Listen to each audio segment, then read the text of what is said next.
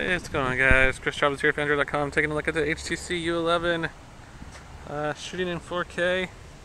Just wanted to check out some of the video capabilities. It's a nice depth of field going on there. How close can you get? Oh my god! Gorgeous. Um, yeah, so just kind of checking out the uh, video shooting capabilities. Uh, the phone's got 5-axis OIS, so it should be pretty stable.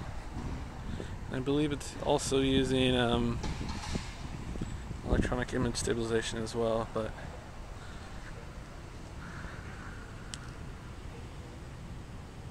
this video looks absolutely amazing so far. At least on the phone it does. Um, I'm not going to walk too far, but just kind of mosey around. See how stable it is. Maybe check out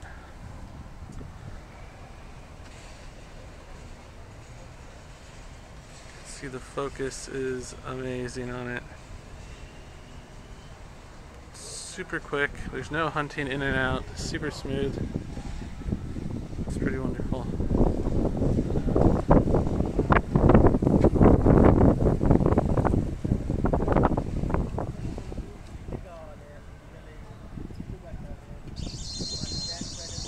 Yeah. Yeah, that's real nice. Uh, so that's just a quick 4K video test with the HTC U11. Uh, stay tuned to phandroid.com for more. I'll see you guys next time.